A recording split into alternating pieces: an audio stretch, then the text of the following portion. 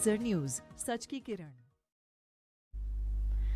नमस्कार स्वागत है आपका लेजर न्यूज़ में। मैं हूँ आपके साथ रूबी और आइए करते हैं खबरों की शुरुआत। इंटेलिजेंस उन्होंने तो बकायदा सेबी को चिट्ठी लिखकर बताया था कि अडानी ने आठ हज़ार करोड़ रुपया हिंदुस्तान से बाहर साइफन आउट किया है ओवर इन्वॉइसिंग के ज़रिए। अब वो पैसा वो किसी भी तरह से ला सकते हैं हवाला के थ्रू ला सकते हैं किसी भी तरह से ला सकते हैं। तो उनको इलेक्टोरल बॉन्ड के ज़रिए ज़रूरी नहीं है अगर वो बीजेपी को पैसा देना चाहें तो किसी किसी भी तरह से दे सकते हैं। तो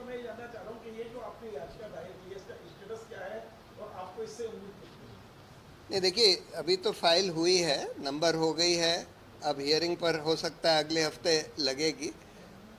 नहीं, हमको तो पूरी उम्मीद है, अगर कोर्ट ने इतना बढ़िया जजमेंट दिया है इलेक्टोरल बॉन्ड पर तो अब ये बात तो उजागर कोर्ट ने करवा दी कि भाई घूसखोरी हुई है। अब उस घूसखोरी की जवाबदेही होगी कि नहीं होगी?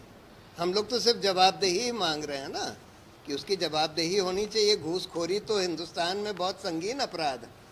और ये तो ओपन एंड शट केस है। बहुत सारे इसमें ऐसे मामले हैं।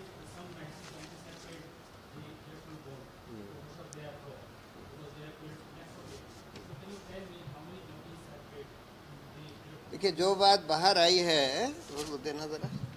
हम लोगों ने एक टेबल लगाया है इसमें कि कितनी कंपनियों का केस बाहर आया है जो फार्मास्यूटिकल कंपनियाँ हैं जिन्होंने इलेक्टोरल बॉन्ड के ज़रिए पैसे दिए। बीस पच्चीस तो हैं जिनके ड्रग्स जो हैं सब स्टैंडर्ड पाए गए थे। ये हम लोगों ने लिखा है। इसकी हम शेयर कर देंगे आपके साथ कॉपी देखिए टोरेंट ग्रुप जाइडस कैडिला हम बता देते हैं कुछ कुछ नाम Glenmark Cipla IPCA laboratories Hetero group Intas pharmaceutical Natco pharma Micro Labs इसमें से देखिए जाइडस कैडिला वो कंपनी है जिन्होंने एक बहुत ही खतरनाक जानलेवा दवाई बनाई और रेमडेसिविर के नाम से, जो कि कोविड के समय सरकार ने खूब प्रमोट किया। और डॉक्टर्स वगैरह भर भर के लोगों को दिलवा रहे थे। बड़ी महँगी दवाई थी। पचास हज़ार करोड़ का एक डोज, पचास हज़ार रुपये का एक डोज मिलता था। अब वो दवाई बिल्कुल पता था कि जानलेवा दवाई है, बहुत ही खतरनाक दवाई है। लेकिन खूब दिलवाई गई लोगों को और उस कंपनी को चलने दिया गया, जबकि पता था कि बड़ी खतरनाक जानलेवा दवाई है। और वो कंपनी गुजरात की है। और उसके खिलाफ कोई एक्शन नहीं हुआ। उसके बाद उन्होंने खूब पैसा दे दिया इलेक्टोरल बॉन्ड के ज़रिए भाजपा को। सो इस तरह के बहुत सारे हैं। especially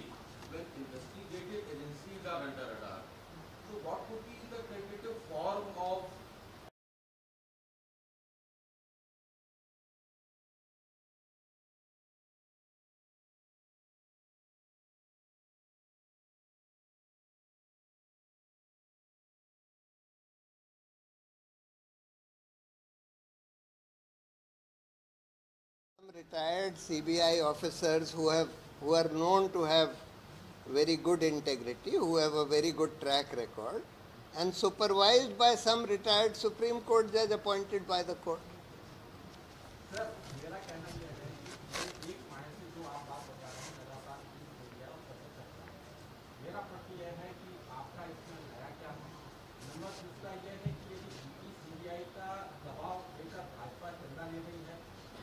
Congress है तृणमूल कांग्रेस है और बीआरएस है। इनको कौन से दबाव से ये पैसा मिला है?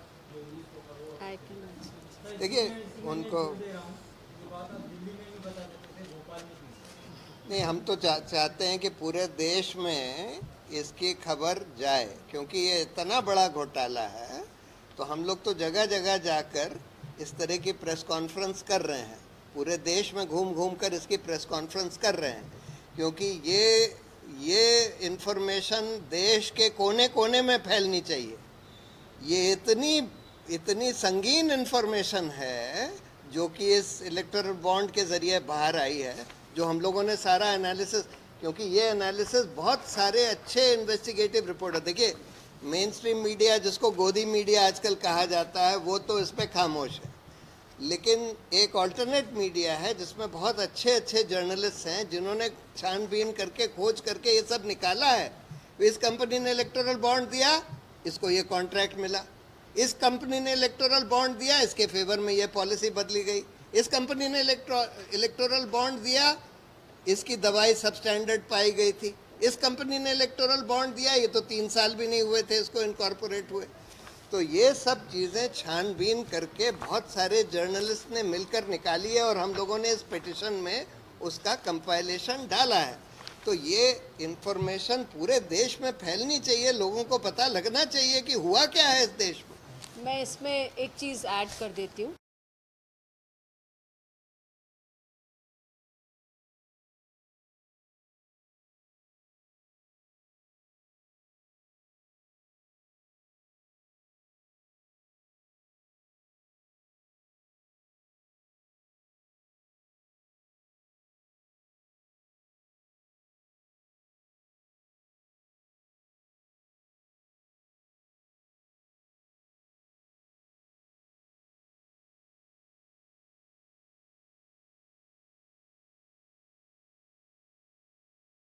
उन कंपनियों ने केवल 40 प्रतिशत के करीब पैसे बीजेपी को दिए हैं।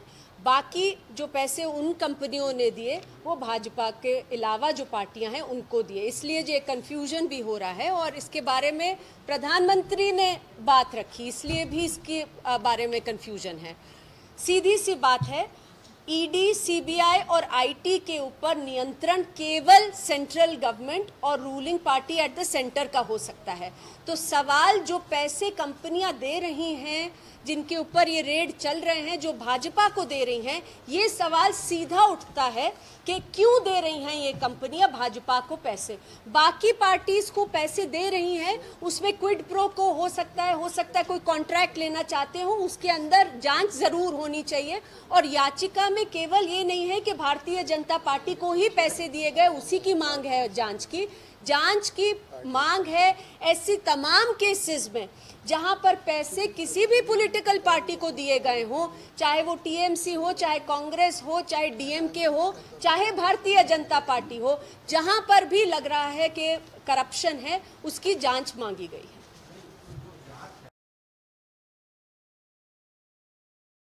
इलेक्टोरल बॉन्ड्स का डेटा है। इलेक्टोरल ट्रस्ट कैश किसी और तरीके से पैसे दिए गए हों उसकी तो सूचना कोई नहीं आई है। ये केवल इलेक्टोरल बॉन्ड्स का डेटा आया है और इसी में नज़र आ रहा है कि कहीं पे एक परसेंट कहीं पे दस परसेंट जो आ, लिया जा रहा है इलेक्टोरल बॉन्ड्स के ज़रिए से उसके बदले में कॉन्ट्रैक्ट्स दिए जा रहे हैं।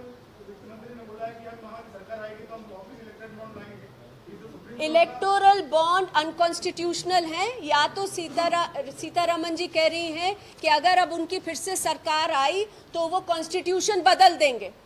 वरना ये अनकॉन्स्टिट्यूशनल बॉन्ड्स हैं और इनका कोई मतलब नहीं है वापस लाने का। इस तरीके से कहना तो ये कहने की बात हो गई कि सुप्रीम कोर्ट गलत बोल रहे हैं हमारे देश के।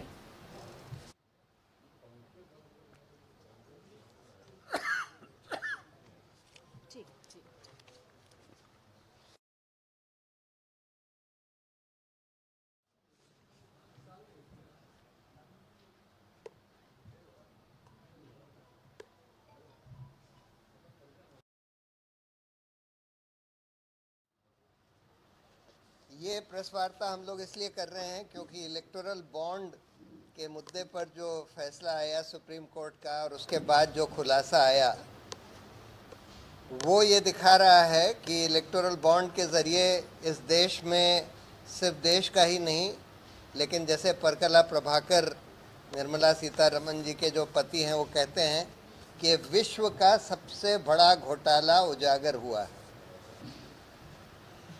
देखिए इलेक्टोरल बॉन्ड जब लाया गया 2017-18 में तो जेटली जी जो फाइनेंस मिनिस्टर थे, उन्होंने ये बोला था कि भाई हम ये इसलिए लाए हैं, ये गुप्त तरीका है लोगों को डोनेशन देने का पॉलिटिकल पार्टियों को।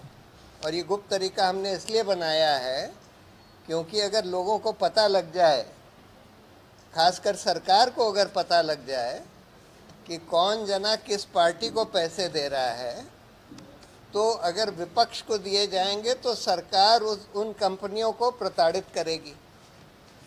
ये उसका रीज़न जेटली जी ने दिया था। अब ये तो इसका रीज़न बिल्कुल झूठा निकला, क्योंकि जो सरकारी रूलिंग पार्टी थी, उसको शुरू से पता था कि कौन इलेक्टोरल बॉन्ड के ज़रिए पैसा किस पार्टी को दे रहा है। वो इसलिए पता था क्योंकि ये इलेक्टोरल बॉन्ड जो कि एक हज़ार से लेकर एक करोड़ के डिनोमिनेशन में इशू करे जाते थे, और पचानवे परसेंट से ज़्यादा सिर्फ़ एक करोड़ के डिनोमिनेशन में खरीदे गए, यानी कि बड़े बड़े कंपनियों ने खरीदे। ये स्टेट बैंक को पूरी जानकारी रहती थी क्योंकि उस पर इलेक्टोरल बॉन्ड पर एक नंबर था। और जब स्टेट बैंक ऑफ़ इंडिया कोई इलेक्टोरल बॉन्ड किसी को इशू करता था तो वो नंबर रिकॉर्ड किया जाता था। और जब कोई पॉलिटिकल पार्टी उसको इनकैश करती थी, तब भी वो नंबर रिकॉर्ड किया जाता था। इसके मतलब स्टेट बैंक ऑफ़ इंडिया को शुरू से ये पता था कि कौन सा बॉन्ड किस पार्टी को दिया जा रहा है। और क्योंकि स्टेट बैंक सरकारी बैंक है तो सरकार को पता था। तो इसलिए ये तर्क तो बिल्कुल झूठा निकला। मोदी जी ने दूसरा तर्क दिया कि हम काला धन खत्म करना चाहते हैं पॉलिटिकल पार्टियों की फंडिंग में।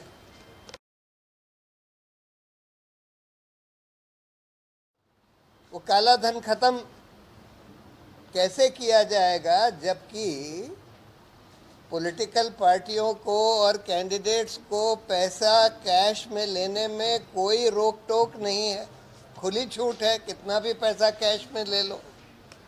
और पॉलिटिकल पार्टीज़ तो कुछ जो कैश में पैसा आता है, उसमें उसको डिक्लेयर भी करती हैं, ये कह देती हैं। ये नहीं बताती कि किसने दिया, क्योंकि कानून ये कहता है कि बीस हज़ार से कम बाद में उन्होंने उसको चेंज कर दिया कि दो हज़ार से कम आपको डिक्लेयर नहीं करने की ज़रूरत है। तो वो लोग कह देते हैं कि भाई हमको एक हज़ार करोड़ मिला और लोगों ने छुट्टे पैसे दे दिए, किसी ने सौ रुपये किसी ने दो सौ रुपये किसी ने पाँच सौ रुपये हमको एक हज़ार करोड़, हम चादर फैलाते हैं, लोग उसमें पैसा डालकर चले जाते हैं, हमको नहीं पता।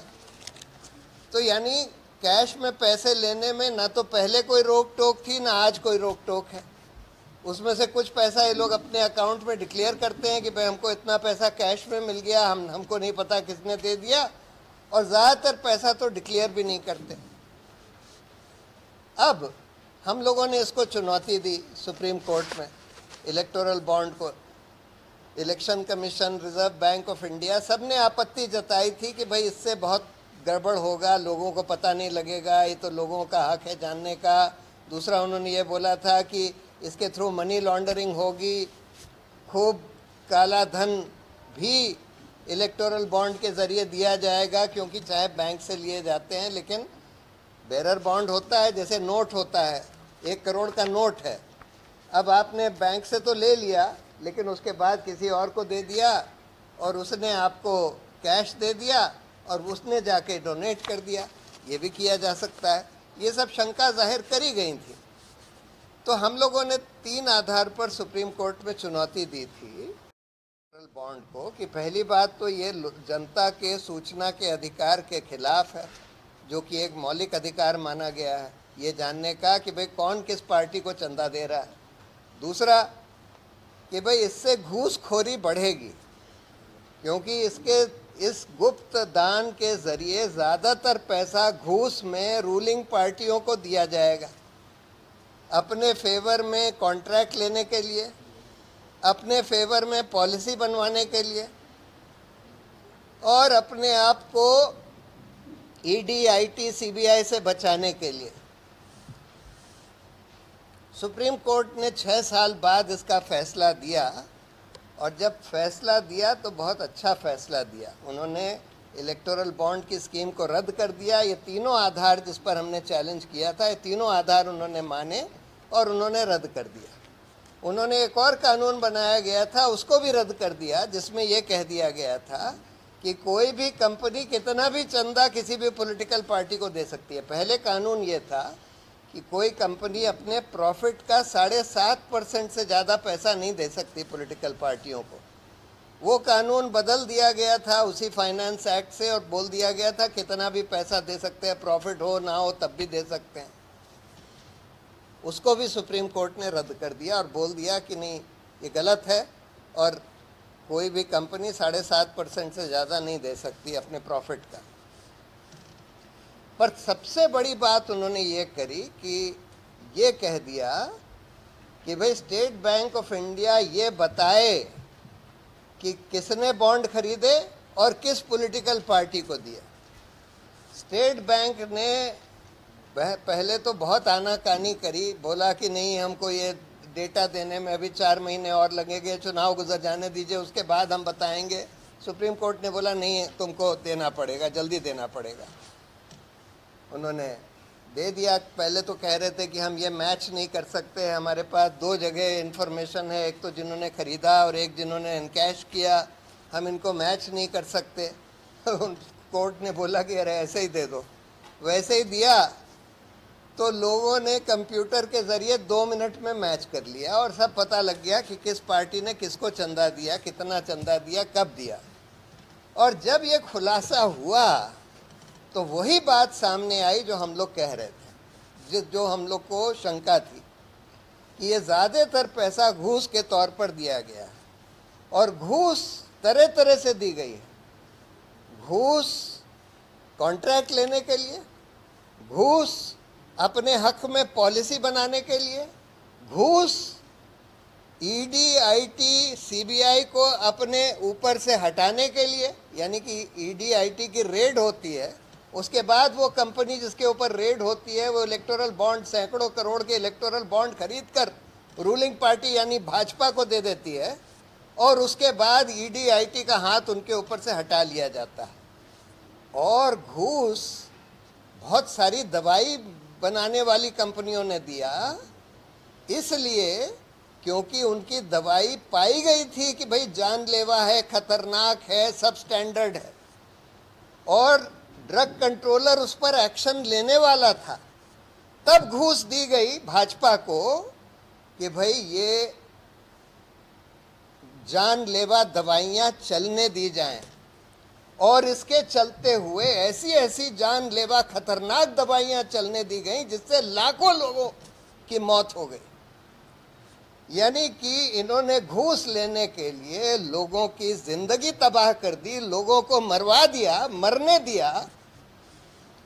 और इस वजह से परकला प्रभाकर कहते हैं कि ये हिंदुस्तान का ही नहीं, दुनिया का सबसे बड़ा घोटाला है। क्योंकि इलेक्टोरल बॉन्ड तो साढ़े सोलह हज़ार करोड़ के लिए गए और दिए गए। लेकिन इन बॉन्ड के ज़रिए जो घूस दी गई, उससे लाखों करोड़ के कॉन्ट्रैक्ट दिए गए। लाखों करोड़ रुपया जो ईडी आईटी रिकवर कर सकती थी उन कंपनियों से, वो रिकवर नहीं किया गया। और लाखों लोगों को मौत के घाट उतार दिया गया। इस वजह से ये विश्व का सबसे बड़ा घोटाला। है अब सवाल ये है कि इसकी, ये तो बहुत संगीन अपराध है। इसकी जवाबदेही होनी चाहिए कि नहीं होनी चाहिए? इसका पता लगना चाहिए कि उस कंपनी में कौन लोग थे जिन्होंने इस घूस देने में पार्टिसिपेट किया। उस पार्टी में कौन लोग थे जिसने घूस लेने में पार्टिसिपेट किया? और उस सरकार में कौन लोग थे जिन्होंने वो कॉन्ट्रैक्ट दिए, पॉलिसी बनाई या अपना हाथ खींच लिया। और सीबीआई ड्रग कंट्रोलर में कौन लोग थे जो इस कॉन्स्पिरेसी में शरीक हो गए? और उनकी जवाबदेही, क्योंकि ये तो बहुत संगीन अपराध है, इसके लिए तो उनको जेल जाना पड़ेगा। पर जेल कौन जाएगा, वो तो जाँच के बाद पता लगेगा, उस कंपनी में कौन जाएगा, उस पार्टी में कौन जाएगा, सरकार में कौन जाएगा ईडी आईटी सीबीआई में कौन जाएगा, ये तो जाँच के बाद पता लगेगा। और इसीलिए हम लोग ये कह रहे हैं कि इसकी एक स्वतंत्र जाँच होनी चाहिए जो ईडी आईटी सीबीआई नहीं कर सकता। इसकी जाँच तो एक एसआईटी ही कर सकती है, एक स्वतंत्र संस्था ही कर सकती है जो सुप्रीम कोर्ट बना सकता है, कई केसेस में बनाया भी है। और इसीलिए हम लोगों ने ये पिटिशन फ़ाइल करी है। कॉमन कॉज और Centre for Public Interest Litigation ने मिलकर कि भाई इस घोटाले की एक इंडिपेंडेंट एसआईटी के थ्रू जाँच हो, जिसमें पता लगाया जाए कि कौन लोग इन्वॉल्व थे, उनकी जवाबदेही, उनका प्रोसिक्यूशन हो, और उस पार्टी जिसने ये घूस का पैसा लिया है, उन पार्टियों ने, ये घूस का पैसा सिर्फ़ भाजपा ने नहीं लिया है, जो राज्य में भी कुछ सरकारें थी, उन्होंने भी लिया है। जिन जिन पार्टियों ने घूस का पैसा लिया है ये पैसा उन पार्टियों से उगलवाया जाए। यानी अगर उन्होंने आठ हज़ार करोड़ घूस के तौर पर लिए हैं तो आठ हज़ार करोड़ वो पार्टियाँ वापस करें। क्योंकि ये तो प्रोसीड्स ऑफ़ क्राइम है प्रोसीड्स ऑफ़ क्राइम है। सुप्रीम कोर्ट ने अभी ये रद्द तो कर दिया है, लेकिन ये नहीं बोला है कि भाई ये पैसा वापस किया जाए। वो इसलिए नहीं बोला है क्योंकि कॉरपोरेट डोनेशंस इलीगल नहीं थे। लेकिन गुप्त कॉरपोरेट डोनेशंस इलीगल थे तो उन्होंने बोला था कि अच्छा हम गुप्त का पर्दा हटा देते हैं, जिससे लोगों को पता लग जाए। लेकिन घूस के तौर पर पैसे लेना तो बिल्कुल इलीगल है। और अगर घूस के तौर पर लिए गए हैं तो वो पैसा तो उन पार्टियों से उगलवाना पड़ेगा। और इस वजह से हम लोग कोर्ट गए हैं। हमें उम्मीद है कि इसकी हियरिंग जल्दी होगी। अब आपको अंजलि कुछ और इसके पहलू बताएँगे। इधर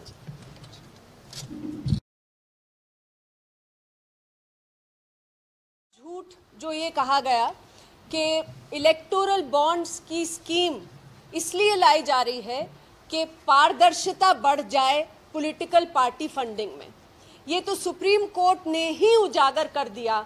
हम जो शुरू से कह रहे थे कि ये स्कीम हमारे देश में लोगों का, जो जानने का अधिकार है, सूचना का अधिकार है, उसे पूरी तरह से बेकार बना रही है। और सुप्रीम कोर्ट ने इसको अनकॉन्स्टिट्यूशनल गैर संविधानिक इसी बिना पर करा है, घोषित, कि ये अनुच्छेद 19 एक ए, जो कि हमें संविधान में आज़ादी देता है बोलने की और अभिव्यक्ति की, उसका ये उल्लंघन करती है स्कीम। तो पहली चीज़ ये।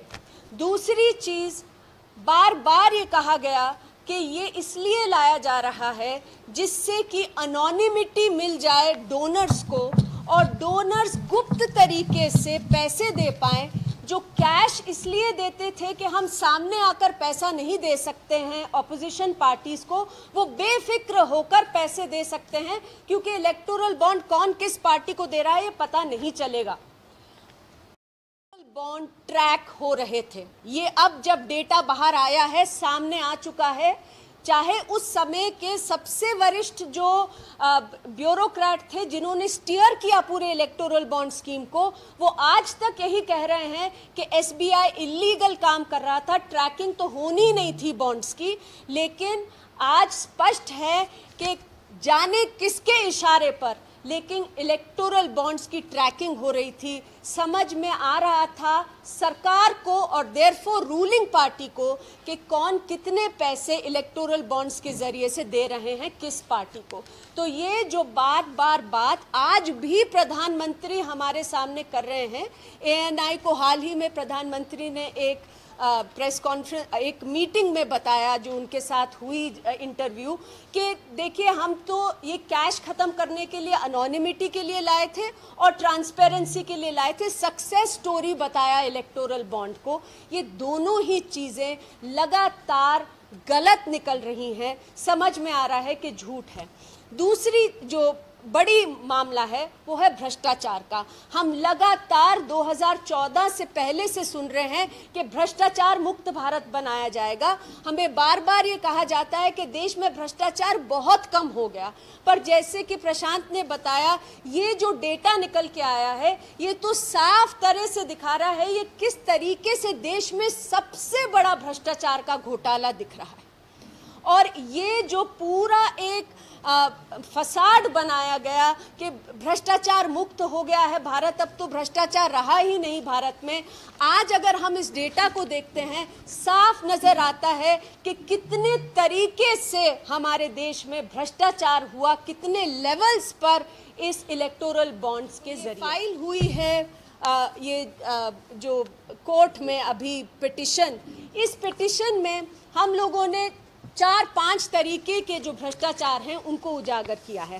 पहला है जिसको कोर्ट ने भी कहा क्विट प्रो को जिसको कहा जाता है कि किकबैक्स हुए ब्राइब्स दिए गए, ऐसा नज़र आ रहा है डेटा में trends Megha electrical engineering and infrastructure private limited जो है, इन्होंने 140 करोड़ रुपए के electoral bond Bharatiya Janata party को दिए और चौदह हज़ार करोड़ रुपए का कॉन्ट्रैक्ट इन्हें तुरंत मिल गया।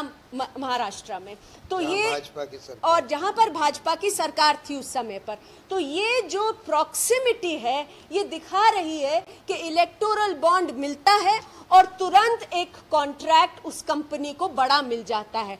140 करोड़ ही इधर हैं जो इलेक्टोरल बॉन्ड में है लेकिन जो कॉन्ट्रैक्ट है वो चौदह हज़ार करोड़ रुपए का कॉन्ट्रैक्ट है। तो आप ये देखिए कि एक तरह से नज़र आ रहा है कि ये तो केवल 10 प्रतिशत जो हमें, हमारे सामने डेटा आया है, वो है। इससे कितने गुना तो लाखों करोड़ों के कॉन्ट्रैक्ट्स ऐसे दिए गए होंगे जो नज़र आ रहे हैं इस डेटा में, जो कि इलेक्टोरल बॉन्ड्स के देने से दिए गए हैं।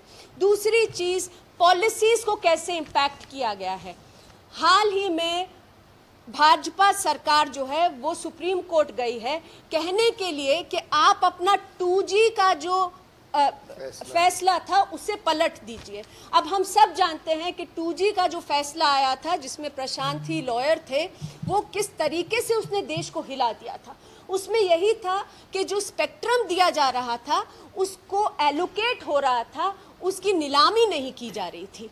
अब कोर्ट ने यही कहा था कि हमारे देश में स्पेक्ट्रम की नीलामी होगी। ऐसे ही कोई एलोकेशन नहीं कर सकते।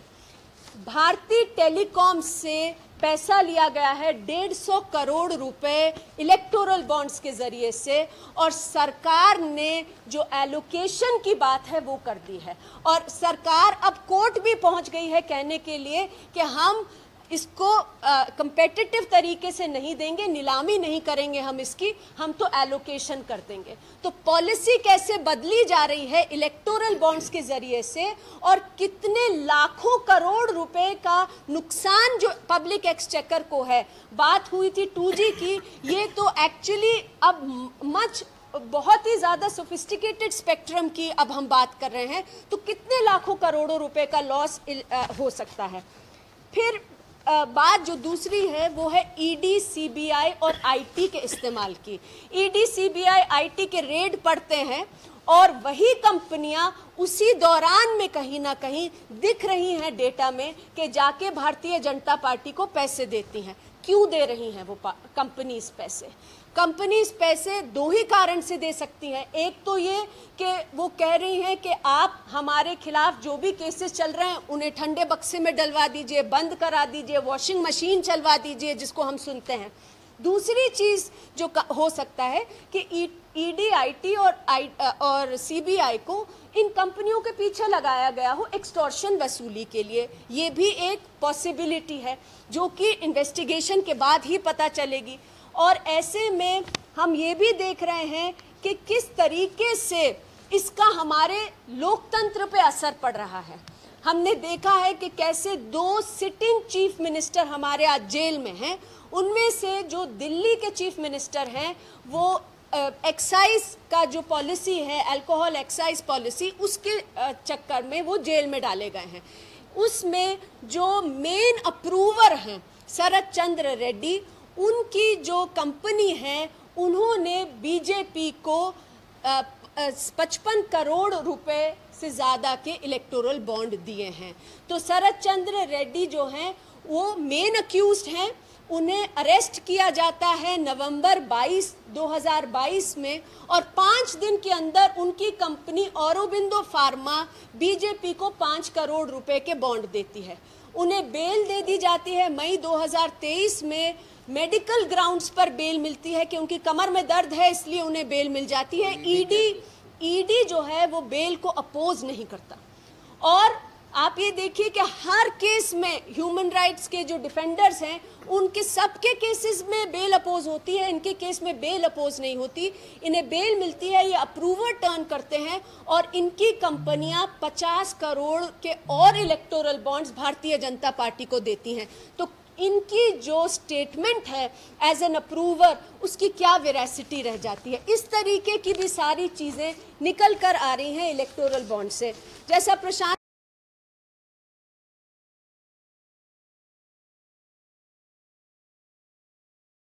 नहीं मिले हैं, और भी जो पार्टीज़ हैं, उन्हें भी बॉन्ड्स मिले हैं। आईएफबी एग्रो इंडस्ट्रीज़ जो हैं, इन्हें, इन्होंने तृणमूल कांग्रेस को टीएमसी को फोर्टी करोड़, चालीस करोड़ रुपए के इलेक्टोरल बॉन्ड दिए और उन्होंने तो रिकॉर्ड कर लिया अपनी मीटिंग में।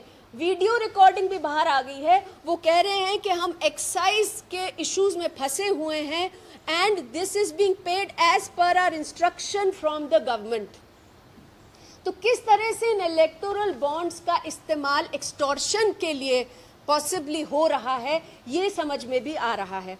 और फाइनली जो बार बार बात कही जाती है कि काला धन रोकने के लिए ये लाए गए, ये तो सरासर इसके अंदर जो डेटा आया है, नज़र आ रहा है कि ये हो ही नहीं सकता था। ये बात आरबीआई ने भी लिखी थी, जो फाइनेंस मिनिस्ट्री को जब इलेक्टोरल बॉन्ड्स लाए जा रहे थे, उर्जित पटेल उस समय पर गवर्नर थे आरबीआई के, उन्होंने भी कहा कि इलेक्टोरल बॉन्ड मत लाइए, इससे काला धन बढ़ जाएगा। फिर भी इलेक्टोरल बॉन्ड लाए गए और आज जो डेटा सामने आ रहा है, इसमें 33 ऐसी कंपनियाँ हैं, जिन, जिनका एग्रीगेट नेट लॉस सात साल का, सात साल के लॉसेस जो उनके हैं, एक लाख करोड़ रुपए के लॉसेस और वो कंपनियाँ इलेक्टोरल बॉन्ड दे रही हैं। तो आज सवाल ये है कि क्या मनी लॉन्ड्रिंग चल रही थी?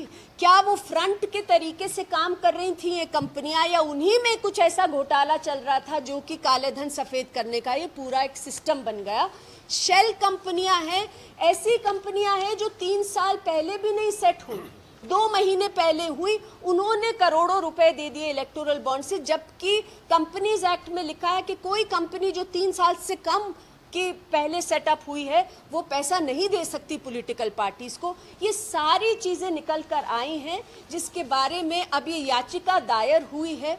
और इस याचिका पे बहुत ज़रूरी है कि कोर्ट मॉनिटर्ड एसआईटी सेटअप हो। वो इसलिए ज़रूरी है क्योंकि यहाँ पर इन्वेस्टिगेटर्स का ही रोल जो है, वो फंसा हुआ है। ईडी सीबीआई जो हमारे देश की सबसे बड़ी इन्वेस्टिगेटिंग बॉडीज हैं, वही नज़र आ रहा है कि कहीं इस घोटाले में उनका भी नाम आ रहा है। तो वो नहीं कर सकती इसमें इन्वेस्टिगेट इसीलिए इस याचिका को दायर किया गया है कि इसमें कोर्ट मॉनिटर्ड एसआईटी होनी चाहिए। शुक्रिया। ये देखिए, पहली बात तो अंबानी का तो नाम आ गया है क्योंकि एक कंपनी है क्विक क्विक सप्लाई चेन जिसने 140 करोड़ के अच्छा 140 नहीं ज़्यादा। ज़्यादा। 500 करोड़। हाँ? पाँच सौ 500 करोड़ के बॉन्ड दिए हैं वो तो रिलायंस की ही कंपनी है।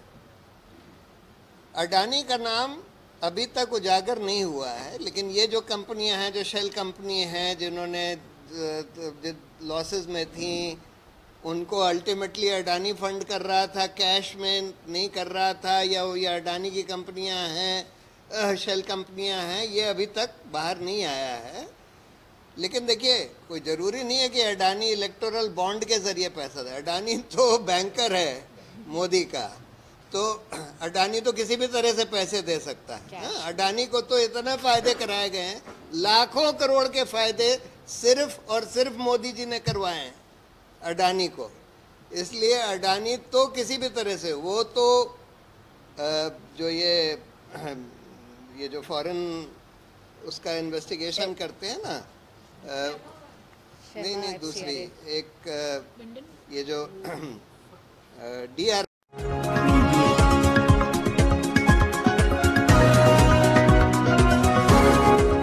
ये है लेजर न्यूज़ सच की किरण।